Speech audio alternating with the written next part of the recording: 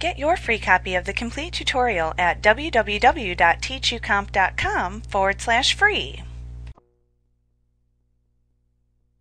You can apply predefined formatting to tables or selected cells within your worksheets. This can quickly and easily improve the appearance and functionality of your worksheet data.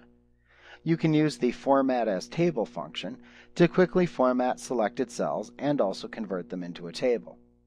You can also apply this to any existing tables that you've created in your worksheet. If you simply want to apply formatting without converting the selected cells into a table, then use the Cell Styles command instead.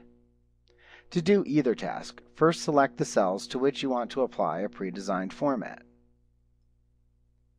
Then click either the Format as Table or Cell Styles dropdown that appear in the Styles group on the Home tab in the ribbon, depending upon which type of formatting you want to apply. From the drop-down menus that appear, select the appearance to apply to the selected cell or cells in your worksheet. Note that if you select the Format as Table button, then after you've selected your desired style, you will see the Format as Table dialog box appear. This will convert the selected cells into a table, or list as they were previously called in Excel 2003. If your selected table has headers, meaning the selected cells that contain labels at the top of the columns, then check the My Table Has Headers checkbox.